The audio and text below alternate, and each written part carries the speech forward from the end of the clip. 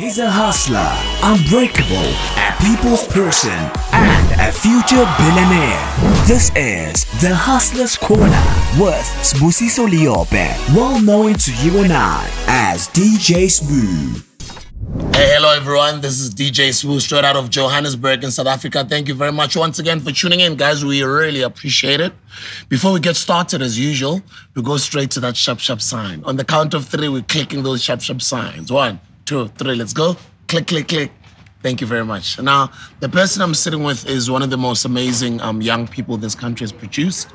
I think, um, you know, there's they classify us with different uh, classifications. Like there's the millennials, there's the Generation Z, Americans would say Generation Z, etc., etc. And then there's our parents and their parents' parents.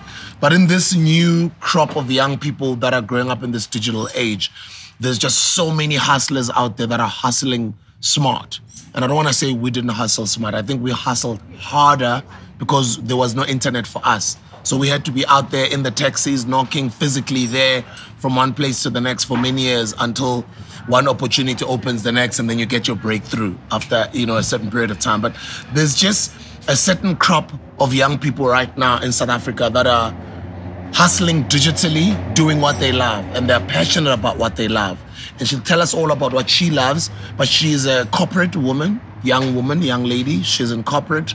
She has participated in different pageants. She, um, all the way up to the highest pageant in the country, Miss SA. She um, has been doing a lot of philanthropic work, which is what attracted me to some of the work she was doing in her community of Alexandra. But I think more than anything, what attracted me to her was her story, um, brought up by a taxi driver and just an ordinary family from Ekasi. But also the fact that we're all in the same industry, the media industry. So she's worked for Soweto Television, she has podcasted, she has been a news reader. She's literally a hustler like you and I. Ladies and gents, please welcome to the Hustler's Corner, Boipelo Mabe. Thank you so much, Sue. That was probably the best intro I've serious? received in a while. And, and uh, I'm actually thinking about it now as I'm doing the intro. I'm like, I forgot to ask you your profile, you know? no, you did very well. Spot on. I was like, oh, how did you know all of that? yeah. I think maybe let's give it to you. Yeah. In the summary, before we, we get into where the story started. Yeah. In summary, when somebody asks you, like, who's Boipelo Mabe? I mean, Yeah. what do you do? What are your titles? Yeah. are you? so right now I am it's quite interesting because like the different assets or rather different facets of what I do, right? Uh, but more broadly speaking, right now, I'm a digital communications professional in corporate, as you've mentioned. And uh, I've also got a bit of a public profile where I do speaking, where I do, you know, the content that you see online on my digital platforms as well. So I think more all round, I would consider myself a digital maverick. Yeah. Yeah. Digital Maverick is interesting because this is the time for that right now. Absolutely, yeah. Probably five years ago, somebody would have said, What? Yeah. What do you want to be, my child? I almost was you know. Yeah. But right now, it's one of the most re- relevant um, professional professions, I'd say. Yes, yes, Uh, and and um, and the company is Cell C, yes. right? That you work for. Yeah, correct. Uh, so I've been there for four years. Uh, actually, thinking about it, I was like, wow, that's been quite a while since I started there. But, you know, it's been a big part of my journey and a big part of me actually discovering my place in corporate, in this business world that we speak of. And I think what's exciting about being in a company like that is that you begin to understand the different elements of digital and the impact that they have on people's lives. And then motivational speaker as well. Yes, yes. So, I mean, that's been a part of my journey from as long as I can remember, you know, from high school. And uh, being able to share my story and share where I come from, you know, has been an important element of inspiring other people throughout my journey. Because I think most of the time, you know, we get caught up in talking about where people are and, you know, the glamour of what they've achieved. And, you know, being able to speak about my story allows me to take people on that journey with me. And I'm excited to get into that story. But before we get into it, let's Yeah. also touch into another thing that you do that you are. Yes. Media person. So you're a presenter as well. Yes.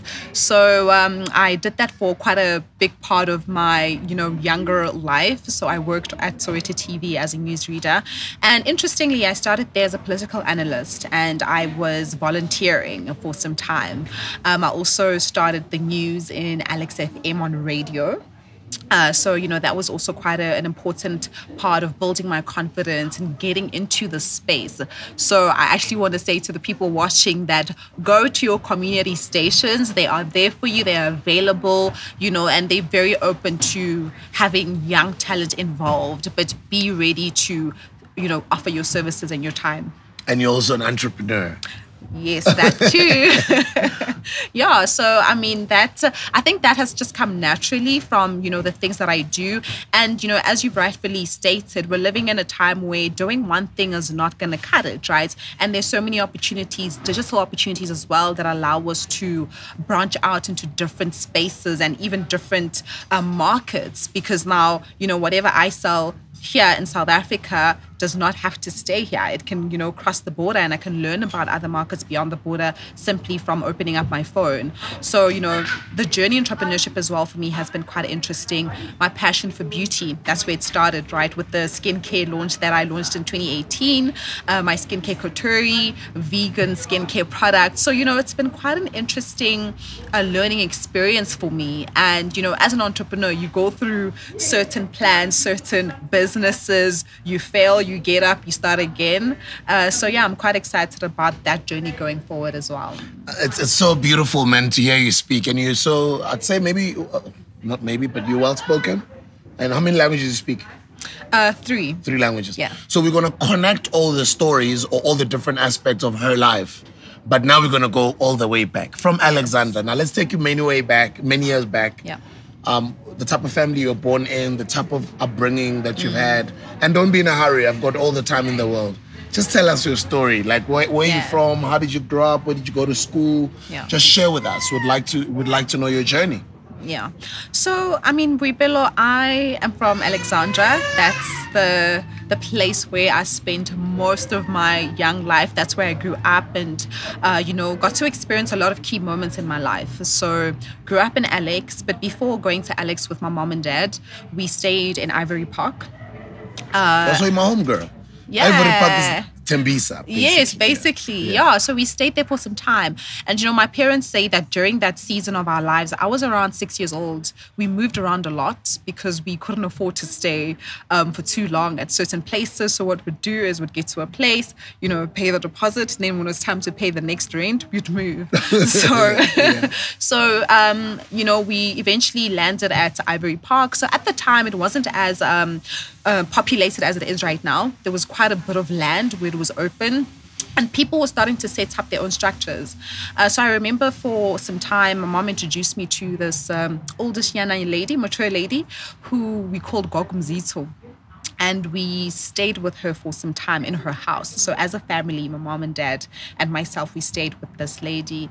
And um, one day, as I was playing there, uh, my dad came. So, my dad um, was in the taxi industry. And he, so my dad came with his taxi and all these guys with building material. So I'm playing there, you know, as a kid, playing house house with dolls and you know, cooking and having your little kitchen Like was a thing, Mampatile, you know. so for me, then it was like the, the the main game that I'd be playing. And because I I was the only child for most of my time, I had kind of found ways to entertain myself, you know. So my dad arrives and is like, "We're going to build something today." So here I am, super excited, and you know they start putting up the structure right before my eyes, and I was so excited because I was like, "Wow, my dad is building me my own playhouse! Like finally, I can have my own house where I can play with my dolls, and you know we can have tea, and I'll invite my friends and tell them to come bring their dolls, you know, have a good time." And um, the structure, you know, came up it was a beautiful, shiny, you know, structure, ngamazenke, beautiful, and I was just so so excited as a child. And then I remember the the next Monday for school, I was so excited to go to school because now I was going to tell my friends that, hey guys, I have a playhouse after school. Come to where I stay, and you know, I'll show you where this is happening. So Monday comes and I'm super stoked, you know, to to go and tell my friends, "Ukuthi, hey guys, you don't have to play outside anymore. I have a real house that we can, you know, come and play in. So eventually after school comes, I've told the whole school and all my friends that guys, come through to my house after school.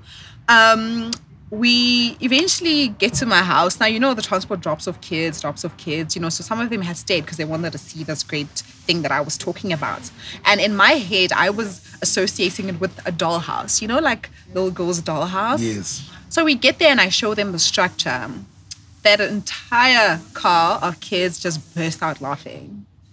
They're laughing at me, you know, hysterically. But I didn't understand. But obviously, looking back now, they understood what the reality was. You know, that wasn't a playhouse. That was the house that my parents and I were going to live in. You know, that was our family house. And because they had already been exposed to that life and been exposed to the realities of life in that place, for them it was like, uh, little girl, you got this wrong. You know, this this is not yours. This is where you and your parents are gonna stay.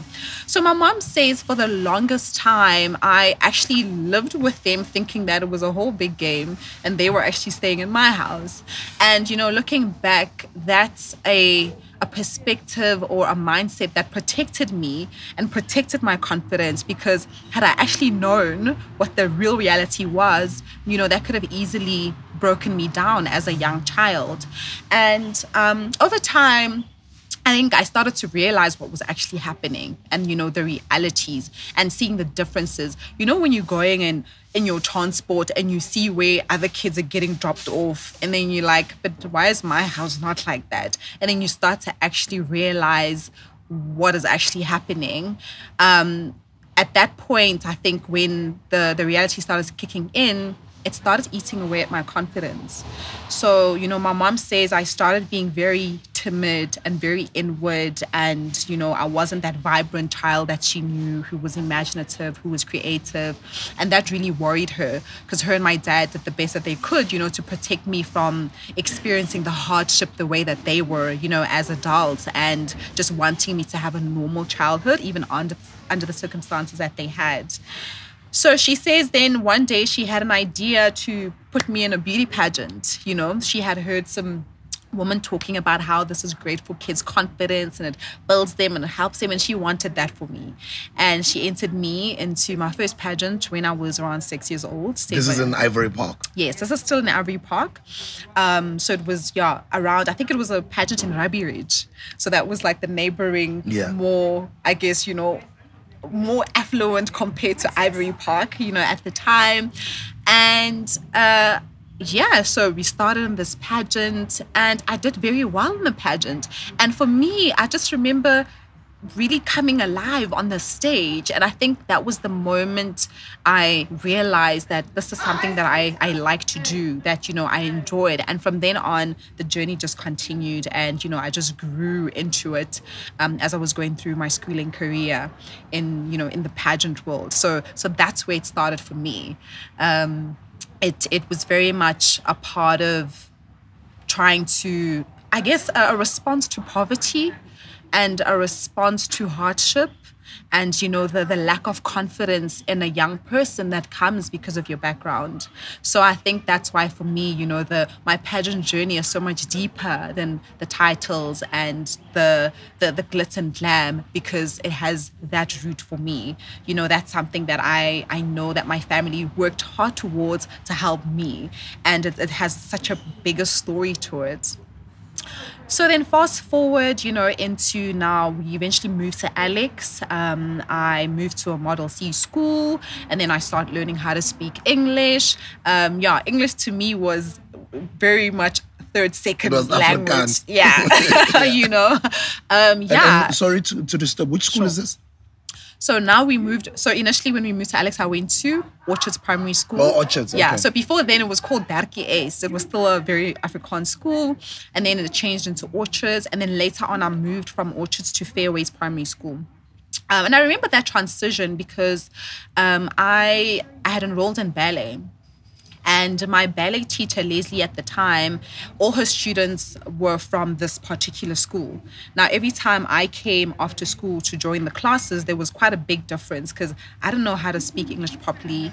And I was very different. You know, my uniform wasn't as fancy as the other kids. So the other kids could tell the difference. And, you know, kids are so brutal. Yeah, I know, yeah. Yeah, you mm. know, they would really say hurtful things like, oh, you don't know how to speak English. Oh, no, you guys don't wear blazers, or, you know, just things like that. And I think when she saw that, it kind of touched her and, you know, felt like I, I deserved to be, you know, in, in the same space. And uh, made a plan. And by grade five, I started at Fairways Primary School and I think that's when my life changed in terms of now the things and the lifestyle I was exposed to.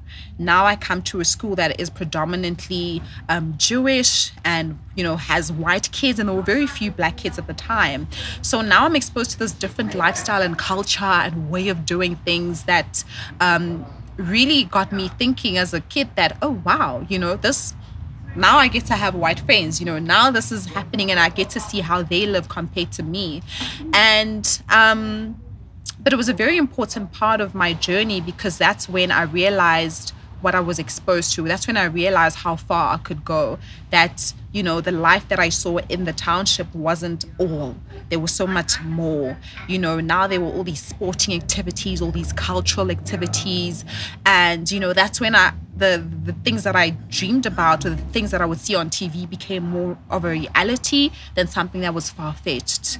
And, you know, I'm so grateful to my parents because even though they didn't understand a lot of the things that would happen, you know, now there was a whole culture of sleepovers, for example, that was something new for my dad, you know, and he was like, sleepovers, why do you have to go sleep over there, you know, at this person's house? Why are you guys having birthday parties that end at 10 o'clock? You know, you guys are only kids. But, you know, that was the culture now, you know, when you come to the burbs and, you know, there's movie nights and, you know, things like that that my parents just were not accustomed to.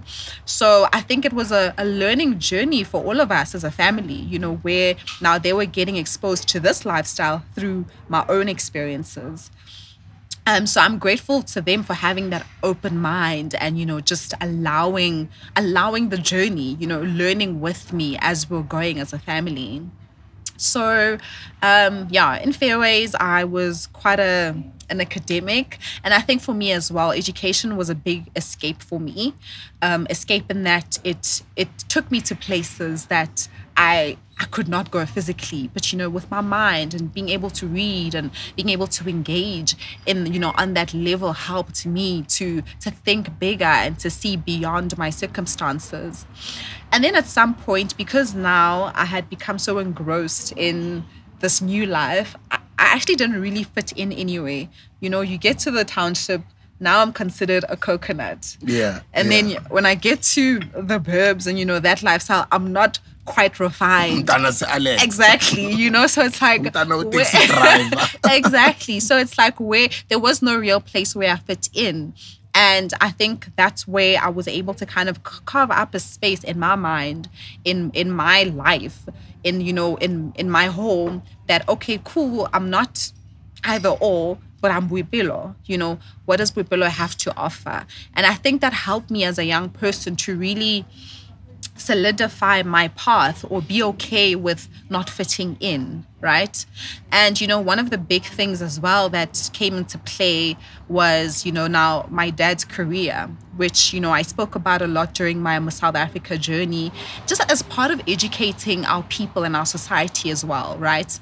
Um, so, how that actually kind of became a, a big element or a turning point for my life was one of the projects at school was career day and then a career day, one of the things that you had to do was come and talk about your your parents' careers and you know what they do and what you learn from it and you know what you want to be someday. So here we are. People are putting together presentations about their dads and suits, their moms and offices. You know, something that was very different for me. My dad is a taxi driver, so it's like, it, you know, you know how kids are. It's like, well, ooh, what does your dad do? You know, what does your mom do? And it's like, oh, okay, my mom is in between jobs. My dad is a taxi driver. There is, I don't know what the career is. You know, there isn't really a clear, oh, what did your dad study? What did your mom study? And it's like, um, I can't answer those questions. Mm. And I think that experience for me made me resent that. I resented the fact that, oh, my parents didn't go to university or didn't have because now I didn't have a good story to tell. Mm. I felt at the time. So for the longest time, I was very embarrassed about my background. I was embarrassed by the fact that I came from Alex. I was embarrassed by the fact that, um, you know, my dad drove a taxi, and I was like, Dad, why can't you just fetch me in a normal car like other dads? yeah. You know, and yes, and that time it's not even a, a good-looking one. It's just that raggedy one you know, and you sometimes it'll get stuck. Yeah, you can hear it from down the road, and I'm just like, yeah. Like, Daddy, don't come pick me up anymore. Yeah, no, you know, actually, it, it was so. I mean, now that I think about it, it was sad, but Oh, funny as well, right? Yes. I'd ask him to like wait down at the robot where I could walk, where it was away from the drop-off zone at school. You know. Daddy, you're embarrassing yes, you know, and you know, for the longest time, I was just, I just hated that. I, I didn't like my life. I didn't like my background, and you know, um, I, I resented my parents a little bit for it because now I went into this world where their life and what they did impacted my social life. Like now I was labeled as, oh, the girl, the taxi driver girl. I was labeled as, oh, the girl from the township. So everything about my background became my label. And it felt like I had no opportunity to retell my story or change that narrative because my background had already done it for me. And um, one day, I mean, this is a very big part of, of my journey and my life where my dad fetched me and I, I that day I was just really completely out of it. I, you know, I had just had had enough and I was just like, Dad, why can't you just get a normal car? You know, and I, I just said some things to him that I just didn't understand. And my dad stopped and was like, you know, Boipelo, listen, I'm going to tell you this and I hope that you'll understand. Your mother and I have done, you know, what we could do with our lives. And even to bring you to the school. Yes. And he was like, those kids who are teasing you and taunting you, you are sitting in the very same classroom.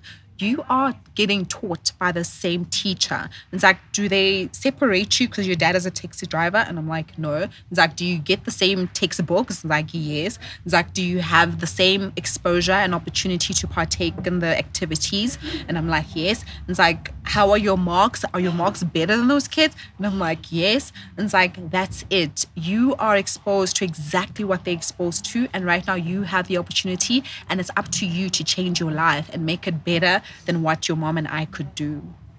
And I think in that moment, things kind of shifted for me because then I began to realize that, oh, actually, my dad is very right. Yes, I may not be going back home to the fancy house with my own bedroom, but I'm sitting here and I'm getting exposed to the same opportunities that they are getting exposed to. Regardless of, you know, how hard it was for me to get there, the fact is I am here. And I have that chance to change the narrative and to retell the story again and not allow my background to dictate it for me. So then that's when I actually realized, you know, just the the, the power of having my parents' presence was, right? As much as my dad came with his raggedy taxi to fetch me, he was there. He did not miss anything. Both my parents were there for everything that required their attention oh, in terms wow. of school, you know? And then you start to realize that, oh, the fancy car kid's dad isn't always there, right? And then you start to realize that, oh my word, like as much as materially I may have not had everything I wanted as a kid, but I had everything I needed and more in terms of the love and support that my parents gave me. And I think that's what helped also build my confidence to know that I have all the support that I need, you know, to move forward and to do what what I want to do and need to do. So yes, so now that you know that was my my big aha moment of realizing that hey, I can change the narrative for myself, which also then helped me shift my attention to my community in Alex. So from having the relationship of being embarrassed about the place, I started looking around me and being like, well, I'm here for a reason. And what is it that I can bring to my community that will further on, you know, help to change this narrative and to improve the narrative. And uh, I remember in high school, I started an organization called uh, Don't Get Babed. What does that mean? Don't get paid. so that was basically a direct response to the teenage pregnancy that was quite prevalent at the time. And uh, Don't Get Babed was basically me just, you know, twisting the word to be like, don't get pregnant. okay, okay. you know, you, yeah. um, underage, and I just kind of used that. Yeah, very funny. So at the time in in our community and many other townships, um, you know, around the country, there was uh, the issue of a lot of young girls getting pregnant, and I was like. Why is this happening? You know, and um, so through the organization, uh, which I named Don't Get Babed, I started having sessions with young girls to teach them about life skills and other things that they could kind of, you know, shift their focus or attention to. So what I did, all the life orientation programs we did at school and all the guest speakers and people would have, I'd like collect all the stuff and then take them back to present to my peers back at home. I remember in our community there was a container, like a community container. So we'd gather in there and meet in there and I'd start sharing all this information and, you know, talking about the reproductive system, you know, things like that. And that time I was the same age as them. So it's just that now I was exposed to things that they were not necessarily exposed to within the township or even just from home. And, you know, I started doing that. So that was my, that's when I started to realize that, oh, this is something that I really enjoy doing. And, you know, it started to align with where I was going and where I'm still, you know, working my way towards right now and um, continued doing that and then eventually now in high school getting involved in you know leadership um, activities as well and bringing the organization into school as well um, you know and starting to get the support of people around me and um, this is all before miss sa no? this is all before miss south africa Okay. yeah still in high school yeah yeah. And um, so, I mean, with that, I think that's when I realized the, you know, the importance of community, the importance of um, just extending beyond yourself. Because for the first time in the years that I had stayed in Alex, that's when I felt the support of my community and the presence of my community. You know, the place where I felt kind of you know i didn't fit in at first. Now i'm like oh i found my place and i found how i fit in. You know maybe it wasn't necessarily to hang you know with my peers but it was to do this. So i think as i you know progressed in my journey i started to realize that i i may not fit in in the I guess, the direct sense of understanding what it means to fit in. But there's always a place for me that might be a bit different. But that's my journey. That's what God has called me for. That's what God has given me my brains, my ideas, and my way of thinking, and the things that I've been exposed to for. Um, so I started making peace with that and understanding that. You know, I will go off on a tangent and that my path is not exactly straight. So into high school now, we have um, so in matric. I don't know if you have this in matric. You know, like where you get to personalize your jackets and you have like different jackets from the rest of the school or jerseys. I mean, bengifunda lokishini ethembisa hayi eish. Atle bengifunda imatric yami ngishayele eCentral. It was a Mm. boarding school but still like nele isikolo sakho kasi koSoshanguve kule Yeah. age. So um, it was not necessarily a Model C school, but a lot of the things that we did there were pretty much um, you know. Mm. So the culture from Model C schools we, we would Yeah. be exposed to through some of our friends like you who go to those schools, who Mm. Yeah. we hang out with after school, Yeah. who tell us about these Yes. things. And we'd see you guys with blazers, we'd see you guys all looking all zhong zhong, you know. Yeah. I remember even in Yes. There was days when we used to hang around Carlton Center. For those who grew up in Johannesburg, you guys remember how how popular Small Street was and how the Carlton Center was. How we always used to hang around Carlton Center. And Tinaba Fundekasi, we used to like sort of tease the kids from Model C schools, but we wanted to be like them. We wanted to hang out with them because Mm. they even spoke better English than us, you know. but it- it's just beautiful memories that are coming Yeah. up as you are sharing your story. Yeah, yeah. Oh, by the way, shout out to Sandringham High School. That that's where I went to high school. Oh, okay. Yes. Um. Yeah. So you're so talking about uh, personalized. Yes. um, so the time came for us to personalize our matric jackets, and you could pick like a nickname. You know, people have cool names. I'm sure yours would have been like Out, or, you know, Yeah. something cool. Yeah. And uh, yeah, I went through a couple of names, and uh, eventually I landed with CoverGirl. Cover girl. Yes. Okay. So, CoverGirl, I had uh, basically taken the idea from America's Next Top Model, which was like a big show at the time, you know. And you know, I was very fascinated with the, the the modeling space and that, and I was like, wow, that's something I'd want to do, you know, at some point in my life, and you know, kind of connected that very much with my my pageantry, um, as well. So I was like, oh, I want to be like the next top model, and but particularly on that show, the one part of it that stood out for me was the the cover girl commercial that they did. So in this CoverGirl commercial, you know, you get to basically model this beauty brand, and then you also once you win the competition, you get to be on the cover of various magazines and that kind of thing. And I, you know, I really resonated with that, and I was like, wow, I want that. And uh, so yeah, my nickname was CoverGirl. Um, speaking to that. Uh, dream, that goal that, you know, one day I want to be a cover girl. I want to be on the cover of magazines. I want to be everywhere. You know, I want my face on billboards, you know, that kind of thing without really having no real story or connection Or to it. or- But yeah, yeah. you know, I just, I just knew it's something I wanted. And, you know, it's something that I wanted to pursue at some point. Did I not get teased uh, for the whole year again? and, uh, you know, now kind of that that mix again of going to the the suburbs and then going back into the township. Now I've got this jacket with CoverGirl. Nobody understands what it is. Nobody knows. Nobody else watches America's Next Top Model like I do.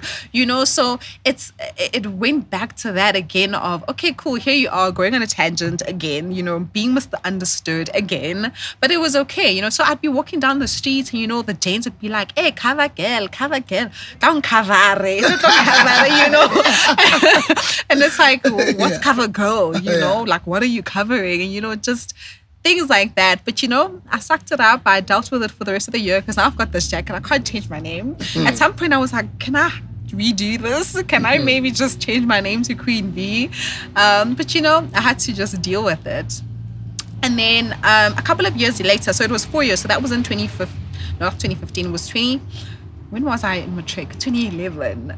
Yeah. Um, so 2015, four years later, Clicks comes out with a competition called the Clicks Cover Girl Competition. And it was the first time that they were running this. And then I decided to enter. At the time, I think I was doing my second, third year of, I can't remember, but yeah, Yeah. I was in university. And um, I see this competition on my Facebook, and I'm like, oh, cool, you know, let's try it out. And uh, it was a nationwide competition. And it was actually mainly based in Cape Town because they had like castings there. But if you weren't from Cape Town, you could do like a video um, casting audition. And I did that and I sent it through. And yeah, they just kept calling me to, you know, submit more things. And then I forgot about it weeks later, it was probably just over two months later, I get a call. That time I was actually at home with my mom. We were actually just chilling. I hadn't told anyone about me entering this competition. And then the phone call comes in. It's like, hi, Bella, this is Clicks. And, you know, there, there was a marketing manager at the time. And she's like, congratulations. You have been selected as the Clicks Cover Girl 2015. Oh wow! And I'm just like, Well, it manifests literally four years later. literally four years later Yeah. and uh, not only did i get to be on one you know magazine cover you know the clicks beauty leaflets covers but i, I had three Wow. so i was on three different you know magazine covers for that year you know printed nationwide millions of copies in every store. My face was on every clicks and you know that for me was another major turning point to realize the the teasing and the taunting that I went through as cover girl, you know, mm-hmm. the with my jacket was part of my journey and my story. And you know, it goes back to the things that you also say about yourself, the things that you proclaim about yourself do come to pass. You know, for me that that was um, a, a very powerful sign and a very powerful happening for me to actually realize the power of words and the power of how we see ourselves and the things that we say about ourselves. Um, even though it took four years, which is another key element I want to highlight that your dreams sometimes will take four years or more. Right? Sometimes it'll take less, but it was a journey. It was a process. You know, I had to go through things. I hadn't even forgotten about my matric jacket at the time, you know, but then I found it and I was like, oh my word. So part of the shoot actually included my jacket because, you know, that was part of my story and part of um, just my journey that made it unique and different. Uh, so, I mean, that was quite a, a, a mind blowing thing for my family as well, you know. And again, my journey has always included them. You know, we experience all of these things together. Everything that I do, you know, they're on this journey with me. So eventually, so in Wits, I studied politics and uh, international relations. And how I actually came to decide that was one day I was reading an article, and I guess maybe in my naive young mind, the article was talking about how you need to understand politics to change the world, you know, something along those lines. And I took it in the literal sense. And I was like, okay, I want to change the world, so I'm going to study politics. so I went with it, and that was my story, and I was sticking to it. And yeah, I got accepted at Wits University. Um, I uh, and I'm even getting to university. I remember, so I had had a pact with my parents that if I do well right, right up until matric, that they'll you know they'll be able to pay for my fees. So eventually that time came, and you know, I mean, I, I was a fighter. I was you like, I'm getting this, you know, I'm going for it. And I remember in my matric year, actually the end of my grade 11 you know we had a little meeting and they sat me down and they're like you know Boipelo, we're very proud of you. You've done well but unfortunately we actually don't have this money mm. so that was another blow you know to be like whoa there's my my background coming you know to confront me again, where I have to remember that actually, Boipelo, you're not from a rich family, and you have to do. You have to have other alternatives. Um, so I started talking to the people around me, people at church, people who you know had studied, and was like, well, this is where I'm at, and I, I don't I've got good marks but you know I don't have any money and um, you know these people continue to help me and support me and you know I applied for bursaries and I was able to get through my my undergrad and then from undergrad going forward into my honors and into my masters I was funded by Wits so I got this the merit award uh, so Because you again, had good marks. because I had good marks. Yeah. So for me, I, I always knew that I always had to overperform. I always had to overachieve because everything hanged on that, right? I had no other alternative or other options. I had to open those options up for myself by being the best that I could be. And I think that's that's a, a mindset and a state that I take into even my career and my adulthood, understanding that because I don't have the luxury of my dad being able to take care of me financially or my mom just coming to, you know, cover things when I can't, I have to make sure that I give myself those options by being able to or by pushing myself harder than everyone else in the room. Yeah. Wow. What an amazing story. And all these years, and apart from you being teased at school, your dad Yeah. is a taxi driver. Yeah. Your mom does from one job to the next. We Yeah. are panda. Yeah. You know? Yeah. Just like all of our black parents. Most of the times, we are panda. And I, I you know, why am I laughing? I'm laughing Yeah. at that um, title, In Between Jobs. Because I used to hear that so many times when I was Yeah, growing up. yeah, Manje, you know? mkhulu kho say, oh, oh, manje usisomo, manje, hayi, I'm in between Literally, jobs. in between, jobs. you know? It literally means I'm unemployed. you know, I move from one hustle to you the know, next. it's like contractual work that you know doesn't last. It's not a career. You're Mm. literally it's hand to mouth kind of hustling, where you're just looking for the next place you're gonna get your bread money from. And and to all the hustlers out there, guys, what is such a, an amazing story that she's sharing. And I think it's a story of a lot of us, right? Good Lapes Puma Corner and our background sort of does come into play when we have to interact with other kids or when we even have to go to university. They cannot afford to hmm. take us to university. So what do you do? You can't just sit back and just say, I'm in Angzohlala this year. Yeah. You can't. She says she spoke to people at church. She started engaging people that she thought would assist her. But hmm. one ammunition that she had, she had good marks, Yeah. very good marks. And then that gets you eventually into uh, sponsorship and Wits sponsoring Yeah. you. Yeah. And then you get into Wits. And tell us Yes. about your experiences at Wits all the way up to uh, masters. Yeah. You know, just to add on to what you're saying, um, before I get into that, it's very important for us to know the things that we can control. Right. Um, in my journey, what I could control was how hard I worked at school, right? I couldn't control the fact that my parents didn't have money. I couldn't control all the other elements around me. But what I had full control over was how I showed up to class. And that's what I want to encourage everyone else about and to do that forget then what you've gone through forget what is happening to you what do you have control over because that's where your power lies and by me realizing that by you know showing up and doing the best that i could would open me up to other things you know kept me going so, I mean, my Wits University journey was quite an amazing one, quite different from my schooling in that I feel like at that point now I had taken control or ownership of my narrative by now using my story to my advantage. Um, after I won the Clicks Cover Girl competition, you know, that made me a mini celebrity on campus, which was quite cool because now, you know, that kind of helped me redirect my social status. You know, you know, you want to be cool, you want to be part of uh, something great, especially in varsity. You know, you've got all the clicks, you've got all the the different reputations of people, and I think that's when I started managing my brand. I'd say that's the first time I realized the you know now the power of a brand or what a brand was because now you know I even started calling myself Bips the brand like I was very literal in everything that I did and um yeah, I focused very much on my academics during that time. I mean, I actually didn't party throughout university. I probably went to two or three in my entire um, four years at Wits. Oh wow. Yeah. Yo, ngathi sikhuluva kanje Wits. yeah, like it, it's crazy because now I look back and I'm like, yo, you know, all the people that uh, from the from the social scenes, you know, they were like, yeah we never saw you anywhere. I'm like, yeah, because I just never was there. The number You of know? parties that you did in four years, they know you did in one week. yeah, you know.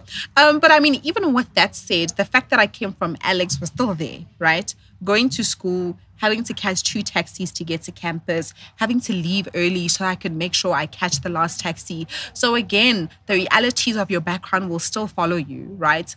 I still had to make sure for a while I didn't have a laptop, so I had to maximize on the time that I was on campus to make sure I typed out my assignments quick enough so that I could make it back home in time, you know, at a safe time where there was still public transport available. So all those things are still part of me, you know, as much as now I'm still I'm the clicks cover girl, I'm on magazine covers, I'm still catching two taxis going home, you know. Um, my dad is still a taxi driver. We're still in between things as a family. We're still trying to hustle and um and then during that time as well oh i, I was crowned Miss alex at some Oh. point yeah, Oh, wow. Okay. later you know hey, I'm an overachiever. Banokhodla manye ama-achievements. you know there's too many oh no but that, that was an important part of my my career and my journey because um, that's that's another part that really solidified my, I guess, my reach in the community and my connection to the community of Alex. You know, now I was Miss Alex. Now, you know, I was the face of my community, and I was like, wow, this is a responsibility I take very seriously. And I remember doing an interview for Soweto TV as Miss Alex, the newly crowned Miss Alex, and just talking about, you know, the things that I want to do. And um, one of the things that um, at the time that's when I was studying my politics, right? And um, the guy who was interviewing me was also a producer of a show called News and Views um, on Soweto TV. So you know they usually would want like a political analyst to be on the show to basically talk about all the stuff that's happening in our political landscape. And uh, so one day we did the interview and then we did a, a snippet for News and Views. So I thought to myself, hey, like, I mean, I, I like media. I'm passionate about politics. How about I come on the show as a political analyst? So then I came as a political analyst guest, and then eventually I found myself being there every Tuesday, um, every week. So they would fetch me from campus and would go and do the show, and then I'd come back to campus. So you know that became like that was my debut, I guess, on screens um, as a young political analyst. You know, talking engaging. And you know i thought i was the smartest thing under the sun because you know i would just take all my political theory content and you know apply it to what was happening in the show and you know that that was a great part that also helped me build my confidence you know as a speaker and being confident in what i have to offer because that opened up more doors for me to do other shows other radio shows on you know big platforms and it exposed me a lot more to, to other elements. And then i joined alex fm as well. So when i joined alex fm i volunteered initially as a um, um, as a newsreader. So i was like i'll join as a newsreader So I, I like that, and let me just come in there as well. Yeah. And I emphasize this all the time in a lot of platforms that I that I speak, and I cannot emphasize this enough, guys. For you to get your first opportunity, you have to go in there and show value Yeah. and volunteer, not to go knock and ask for a job. You're not going to get the job. Yeah. Imagine how many people walk in that door asking for a job or emailing or sending their CVs. Go there and add value. And you do know a lot of the places that you want to be in, you can research about them and you might find one or two or three things that you think you can add value in without having to ask for a remuneration in the beginning. Yeah. But once you've got your foot in the door, then you get the opportunity to learn as much as you can internally. And that's how you eventually get yourself in there when they are eventually looking to hire somebody. You mm. get to one of those first people that get considered. Or even if it's not in that platform, but the amount of experience that you attain by being mm. in that environment is so rich or it gives you so much knowledge that you can use that knowledge for the rest of your life elsewhere. Do you know what I mean? No, you're absolutely right, because that's exactly what happened, right? So from volunteering at the station at um, Alex FM, that prepared me for my actual job that I got at Soweto TV from being a, a resident volunteer political analyst to become an on-screen newsreader. Now I was the primetime news girl, you know, and then that was a paying job. But it took two years of volunteering for free and, you know, allowing myself to learn, to get exposed, you know, giving my time, showing my value. So when it was time for, uh, you know, a promotion opening, I was the first person to get considered.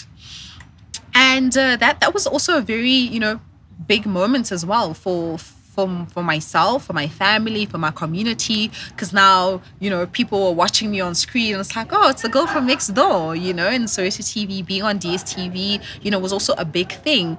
And, uh, you know, I think at the time also my parents were just stunned that, like, how how in the world? How in the world she ends up on TV? This one. Yeah. And uh, um, I mean, even at that time, guys, three taxis to get to Soweto. You know, still using public transport. So like, I'm that girl on the news, but like going back home. So people are watching me at home. Yeah. So I'd be catching about three taxis to get to the studios. So now, while my bulletin or my show is playing, I'm still making my way home in a taxi. You know, so just understanding those dynamics as well. And I think that's why right now I, I stand in a position where I'm so grateful for my background, for my journey, and you know the hardships and the hard times because that have helped me appreciate the I guess the holistic part of success, right? That it's not just it's not a destination, it's a journey, it's a process. And there will be good times and bad times while you are moving forward. So for me it was just um, quite amazing that I'm like, you guys, if only you knew what I, what I'm going through, you know, in terms of just getting there, having to come back, and then you know, people celebrate the fact that oh, you're on TV, oh my gosh, like you know, how did you do that? And it's like, oh, I worked for free. Um, I had to use my own money to get there. You know, I had to sacrifice some time out partying because now I had a job every day. I was on the news, and I still had And you have to look fresh on TV. and I had to look fresh on TV, and I still had assignments. You know, I still had, you know, we all know Wits can push you over the edge, but you know, I had to fight to stay on top. And um, you know, and I think that's that's what you had to understand about life. That it's a give and take. What you give is what you get. You know, and um, I'm I'm quite glad and grateful that that's something I, I was able to kind of grasp earlier on in my journey. So now it's 2017. I apply for my master's, you know, um, in international relations. I get accepted, and I was under the Merit Award once again. And um, so that year, I decide, hmm, I think I might enter Miss South Africa. So I mean, it's something that I had been wanting to do for the longest time, but I was just waiting for like an opportune moment. And uh, in fact, me entering in 2017 was supposed to be a practice round nothing was supposed to happen that year. Like I just kind of thought, okay, I'm just gonna go and feel it out and see. I didn't even think I was gonna make it to the top 12, right? Because I was just like, I just want to see my proper year will be the next year, 2018, and because I wanted to give myself the opportunity to complete my masters. So I enter. Um, the morning of, I remember telling my mom I was going to an interview like very far away, so I had to leave the house at like five, right? Um, and uh, so I didn't tell anyone I was entering. I didn't tell a soul. So I go to this faraway interview at 5 a.m. in the morning, and it was actually up the road from home. It was at the Maslow Hotel in Sandton. So I mean, you can imagine. I get there. There are hundreds of girls, like and awesome girls. yeah. beautiful, intelligent, well spoken. I literally felt myself shrivel up into a small ball. Yeah. I was just like, nah, there's no way. you know, I was like, there's no way those judges are gonna see me. There's no way they're gonna even look at me. Shame, I can imagine what it does to you Yes, psychologically. yes, you Because I know. know I'm, I- I've attended. Actually, I got on radio because I went through a talent search competition. There was thousands of us Mm, when I got onto YFM. Before, even with my television career, Yeah. The auditions that I used to go to all the time, there was just all these awesome people, Yes, guys in six exactly, packs, guys who are you know? like from Sandton, me I'm from Tembisa. You know, I'm like, yo, I'm not gonna make it. Yeah. Yeah. so I know exactly what you're talking about. Yes. So, you know, I, I get there and again, I am, you know, my background, it comes back to me. And, you know, I start telling myself that, but who am I? I'm just a girl from a township. I'm not even that great. Like, you know, all those things that, the negative things that people say to you start playing back. And you almost want to believe them in that moment to justify this feeling that you have, you know? Um, because now I look to my left, I look to my right, and I just see these incredible people. And you know they i can't hold it against them because they also weren't asked to be born into what they were born to you know? And and i'm there with a dress that i think was my best you know? Meanwhile people have like hangers of outfits and i'm just like guys i think the bikini that i had was probably i think is one i had even from when i was in high school. Oh, you know like so you like nothing about me that day had prepared already, you know, written on it. But I sat there, I sat there and I was like, it's fine, let's see. You know, I'm here already. I've been sitting in this line. I might as well, you know. And as I'm sitting there, uh, you know, I'm, I'm thinking about what am I going to say? Like, you know, what are these judges going to ask me? You know, and that kind of thing. So interestingly, that year, the, the auditions were, or like the big casting set was set up in an open setting where if you, you audition in front of everyone.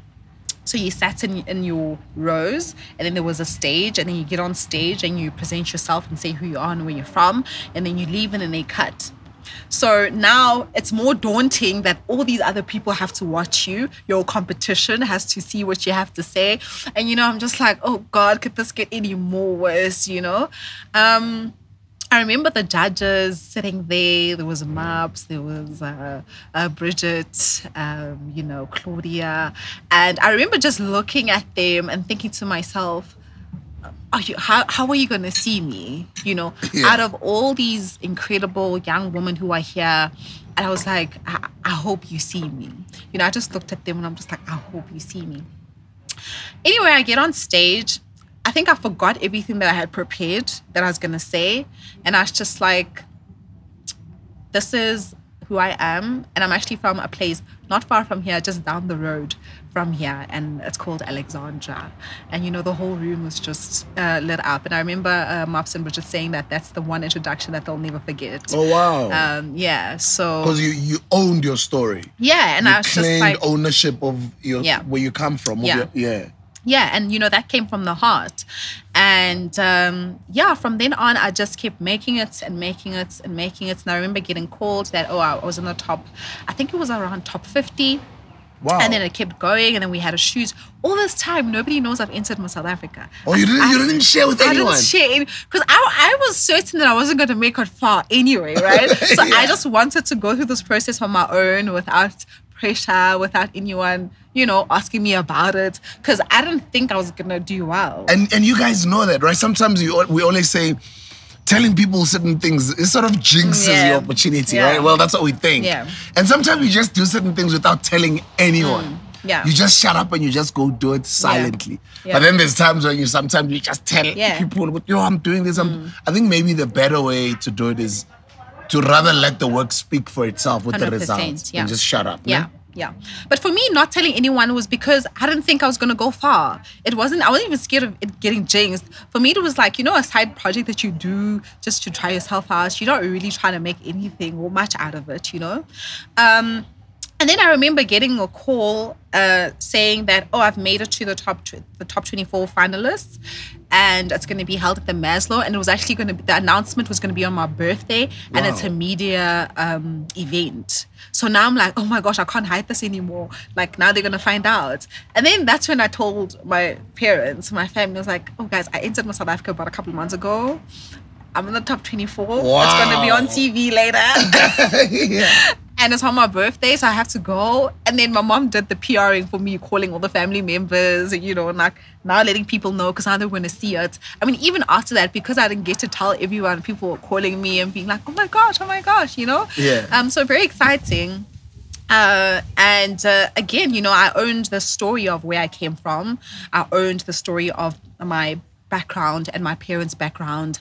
And, uh, you know, that's when I went with the hashtag daughter of a taxi driver as part of the narrative because that was a big part of, you know, how far I had come in that moment and the fact that my parents were still very much my number one supporters.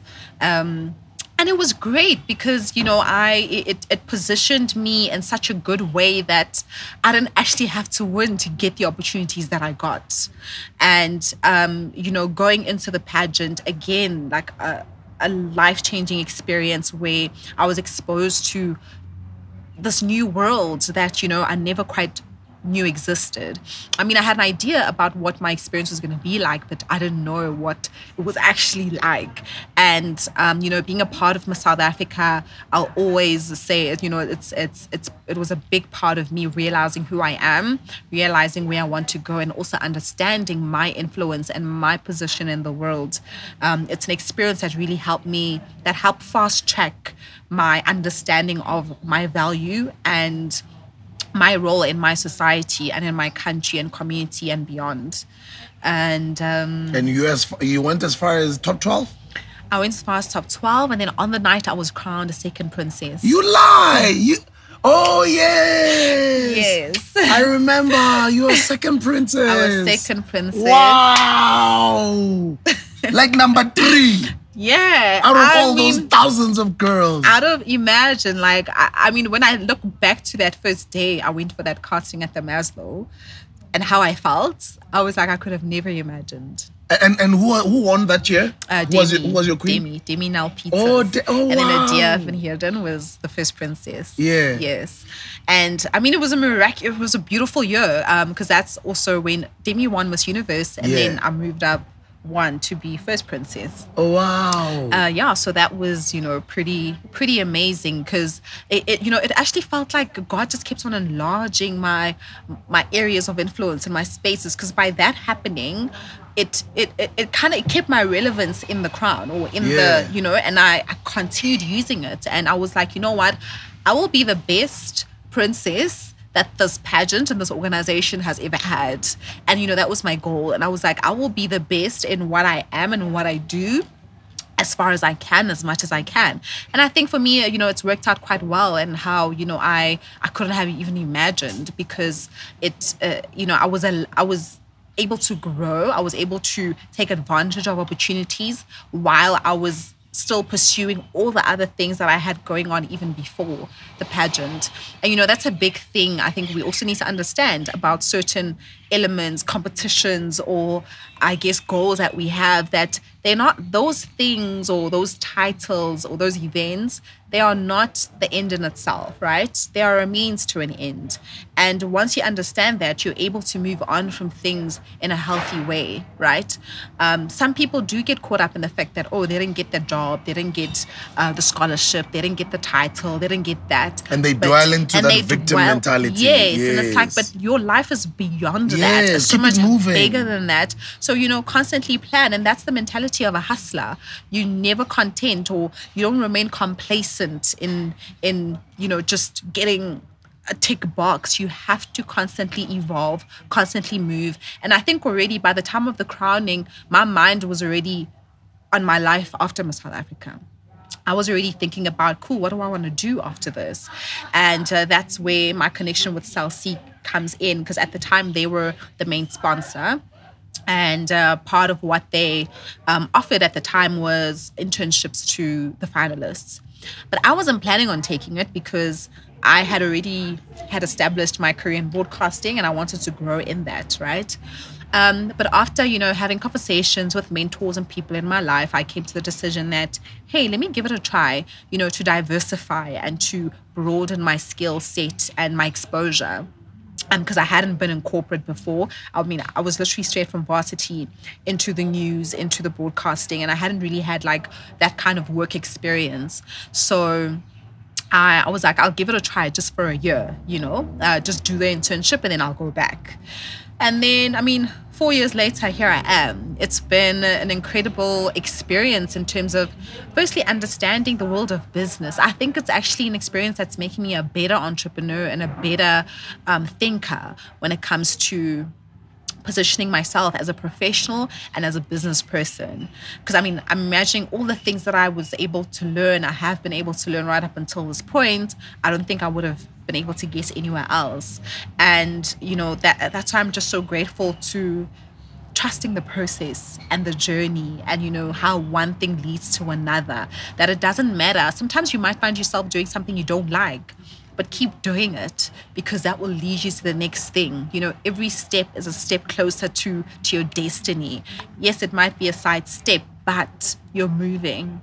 I totally, I totally can relate. That's why I always say that to waiters, waitresses, because I was once a waiter. Hmm. I always say that also too when I bump into the guys who clean the toilets, hmm. whether I'm in a public place and I go to a public bathroom or toilets, and I find a guy who's cleaning there. You can just see nobody speaks to this guy, nobody hmm. greets them. You can just imagine the number of people they see walking in there, Yeah. and you can just imagine what goes through their mind. Yeah.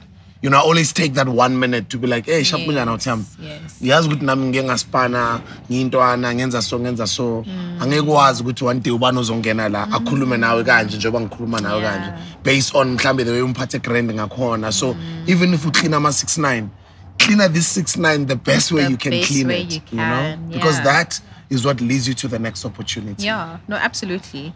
And, uh, you know, that, that's a very real thing for my journey as well. Realizing that I just have to do the best that I can with what I have, right? And I think as hustlers, realizing what you have is very important, right? Realizing what you have control over and what you have, what you have available to you is important, right? You may not have money, but the fact that you have a cell phone and you can access the internet now and then, that's your power. You know, the fact that you can read and write and learn, that's your power. So I think for me, because resources were always so scarce, I always had to make sure that I use what I have available to me to my best. And for me, the platform of South Africa, I view it just as that. Because I was like, this year is going to end. People are going to forget my name. People are going to forget I was even on this pageant. Um, so what what can I do, you know, to make sure that I make the most out of this year and this exposure that I have? And you know, that's exactly what I did during my journey, I remember there was a time I really just couldn't afford the outfits, the, you know, having to, the hair, the makeup, because, you know, it's a journey. You're getting publicized and all sorts of things are happening. So I started writing to sponsors and people to potentially help me. So I started out with the, the clothing. I wrote to a couple of um, stores to help uh, sponsor me with outfits for all the different activities that we had.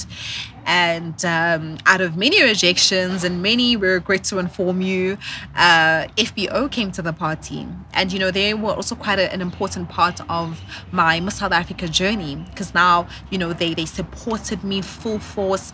They, you know, they gave me all the things that I needed from a clothing point of view throughout my South Africa journey, even afterwards. And I became a formal ambassador of the brand. And all I promised them was the platform that I had. You know, I didn't promise them a lot. I was just like, well, I'm a South Africa finalist and I will punch you wherever I go, wherever I get interviewed. And, um, so for me, it was again saying I could have sat back and said, just I guess tracking it back even from school that firstly my parents don't have money to take me to school. I'm just gonna chill. I could have said I don't have money for clothes to continue my South Africa journey. I'm just gonna chill. But I had to realize what I had. What I had at the time was my zeal and my brains to do well and learn and study to be able to get recognized and to get the sponsorships that I needed and the funding that I needed. You know, here with Mama South Africa journey, I had a platform that now the pageant was giving me and that I could use. And that's exactly what I had to do to get the right attention, the support that I needed. And I mean, I got overwhelming support coming from all sorts of, you know, sides and directions. And, you know, it's endless people and endless organizations that I can list that um, have been a part of my journey and that, that are still part of my journey even now, right? Um, and you know, another major thing for me was the, the organization that I started working with back in high school called Ratangbana in Alexandra. They so they cater for um, children who come from child-headed households and granny-headed households where their parents have passed away from HIV and AIDS. So uh, my involvement in the organization started way before Miss South Africa, and to see the support and the things that they did to support my journey was incredible, right?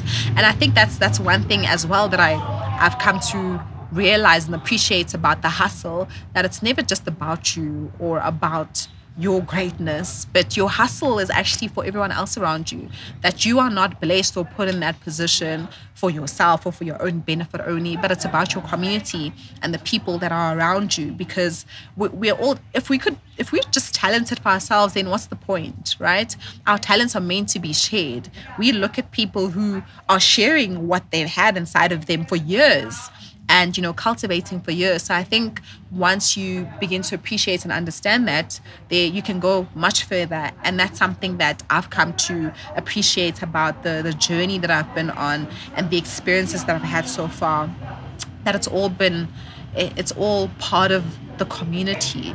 It's all part of um, you know my role in the whole ecosystem of earth that my presence here is important to the next person, you know, the next younger person who's coming from where I come from, who's looking at me, who will also make a change where they can. And that's how we actually change the world. Um, you know, one person at a time, one move at a time, one initiative at a time. Wow. What an awesome, awesome story. And I hope you are wherever you are out there, you are inspired by this young sister's story. You might be older than her, you might be younger than her, especially the, the younger sisters out there. Guys, you can be anything you want to become. The sky is even not the limit. Here's a daughter of a taxi driver from Alex, grew up with literally nothing. And it's a story that a lot of us can relate to. It's just all about, it's just all up to you if you want to be great, if you want to succeed, if you want to achieve all of those things, because it is doable. And before we go, I obviously want to know how does your future look like? Because it's so amazing that you're sharing all these things and you're just only still young, you're still in your early 20s. You know, I can imagine where you're going to be 10 years from today. Yeah. What are some of the things that you still want to do? Because you still have not started. no, Maybe this is just the beginning. Not even. This is like the groundwork, you know, the basis. And uh, uh, I mean, in my 20s, what I've dedicated this time to is really to learning and just gaining as much as I can from you know the people around me the experiences that i had the organizations that i'm in because one thing that i learned as well is you can't rush success you can't rush. You know, great brands are built for a long time, right? You look at brands like Oprah and you look at her journey and you see her peak, the the points of her peak, even your own journey, Sbu, just, you know, I mean, where you started and where you are now. So I've come to appreciate that. And I want to build a sustainable brand and sustainable influence, right? I don't want to just be a one hit wonder and disappear off the face of the earth. I want my impact to go beyond just Alex. You know, I'm looking at the African continent, I'm looking at other communities and countries. And, you know, I think one thing that uh, the study of international relations has helped me understand as well and appreciate is that even all those countries that we see as, you know, fancy, as bougie, as first world, there are communities there of people just like me, just like you, who are forgotten, who don't get, you know, PR'd, who don't get seen. I want to reach those people as well with the work that I will do, you know, as a professional and as a public brand. Um, so definitely keep out, uh, keep a lookout rather for Bips the brand. um, I definitely want to grow in business as well.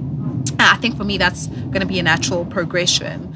Uh, growing in business and in digital. You know, digital is the future, and just making sure that uh, I'll be one of the renowned names when it comes to that space and, you know, influences in that space from a global perspective.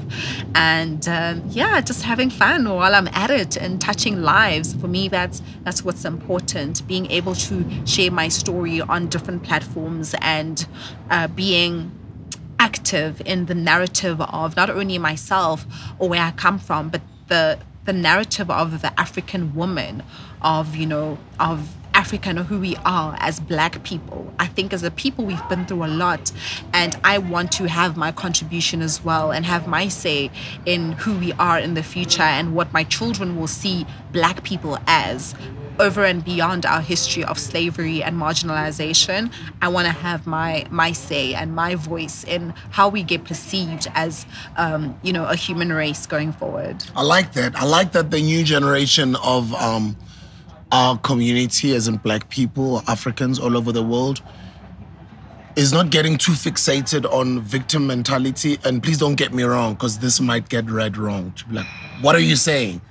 It's very important for us to know our history, what was done to us, what happened to us. Mm. But over the years of interviewing thousands and thousands of people on radio and television, or just speaking in public, being a public speaker and being an author, and, and just an all round person who travels all over the world, a lot of us are still dwelling too much on that victim mentality.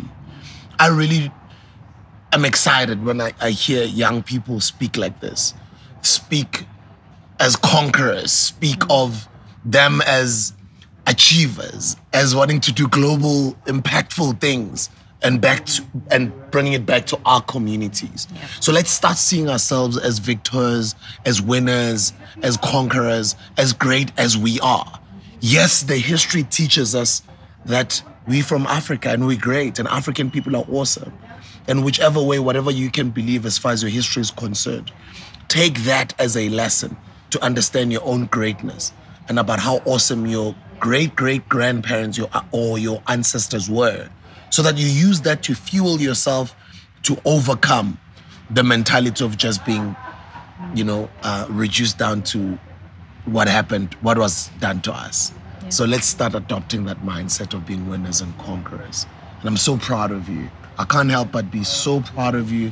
I've been proud of you for many years. The last time we spoke was two years ago. Yes. that was the radio interview. Yes. and i'm glad that now we're catching up two years later. Yeah. you've achieved all of these amazing things i can't help to sit down with you two years from today I cannot wait. Thank you, thank you so much. This has been such a wonderful, um, you know, conversation, and I think I'm also very grateful for for the work that you are doing and reminding, you know, us as African youth and people who grew up in townships. And I think sometimes uh, it's a very underrated experience and journey, right? There's so many things that we go through that we don't always get to share and get to talk about, but the world just thinks, ah, we're okay, you know, get over it and move on. But I'm so grateful to also see your journey, you know, inspiring and motivating so many of us online um, with your brand and how you're positioning yourself and staying true to where we come from. thank you Yeah. and um, we will dismantle this white supremacist system that keeps pressing us down. Yeah. Because no matter how much, how hard you can work, if there is a system that is designed to oppress you, it will be very hard. That's why mm. people like myself teach independence and entrepreneurship. And I'm glad that you guys have realized that. Yes. You are not just only wearing a Focused. would I want to be employed. Yeah. Yes, you understand that you have to go through that journey to learn the skill and Yes. make a living. But I like the fact that you guys are also carving your own paths. Yeah. That you guys have got your own side hustles. Yeah. And you guys are also using the internet to your advantage. Yes. So I'm very proud of you guys. Thank you. And lastly, before I let you go, we'll send you this video in 10 years or 20 years? Let's say 20, right? 20 years from today. You'll be uh, in your early 40s. Right? Yes, We'll send you this video. You'll probably have children. You'll be married at the time. And you're going to be shocked. Oh my goodness. and 20 years goes by like this. Hey? It really does. I mean, looking at how fast life is moving. Yeah. It's crazy. So I want you to look at this camera and speak to your 40 something year old self. oh my there. God. What would you like to say to um Boipelo, who's like older, who's like like who's a multi-million, even probably a billionaire? You know? You're probably sitting there with your kids or some of your grandkids. Yeah. What would you like to say to that amazing lady? Hi, Boipelo. Hi, Doctor. Hi, with all the titles to your name. I am so, so proud of you. I'm so excited about everything that you have achieved. Look at how incredible of a woman you are. Just keep going. Remember the journey it's you've started. You've started a long time ago, girl. There is no giving up right now and there's still so much more for you to do and those children are still looking up to you and your community is still rooting for you. I love you. Stay amazing and uh, let's go conquer. Lovely. That is so awesome. Thank we'll send you. this video. Oh my gosh, I can't wait. It's gonna be so weird. but so amazing. That's actually very powerful. Yeah, we do that with all of our interviews. And then lastly, what would you like to say to the youth, the youth of Africa right Yeah. now? Anybody that's younger than you or that's your age and younger. Yeah. What would you like to say to them? What I want to say to all the incredible young people of our continent, Africa, is that everything is in your hands, literally. I know many a times when we are going through hardships, we tend to think that we have no choice in situations, but trust me, you do. Sit down where you are right now and think about what you do have available to you. Think about the things, the people, the resources that you do have available, no matter how little, no matter how small, and start using it. Because what you have right now, what you have ex- exposure to right now, is exactly what you need to get you to the next level. So I want you to know that you have all the power that you need to move to the next level, to inspire your family, to inspire your community, because Africa needs you. Africa needs this. It needs us. And we can do it. And we're going to build this continent to be as great as it was before. Thank you so much. Thank you. What an awesome interview, guys. Thank you very much for hanging out with us. Don't forget to like, share, subscribe, share the content. Check out all the other old interviews that we have. This is a personal development channel. This is this podcast is just to better you, to make you a better person, to show you other stories of other hustlers, young, old, um, but just African hustlers who are doing great things all over the world. They might not just be in South Africa. So you'll be seeing a lot of guests from all over the world, from Nigeria, Ghana, Tanzania, New York, Europe, everywhere. But mostly it will be our African people, whether they're based in Europe or whether they're based in America. It'll just be um, those people that represent Al Kebulan. As I always say, guys, you've heard her story. Young people are doing great things with their lives. The question is, what are you doing with yours? Hi everyone, my name is Boipelo Mabe. I am a corporate professional and an entrepreneur, and I have just been hustled by DJ Sbu on the Hustlers Corner.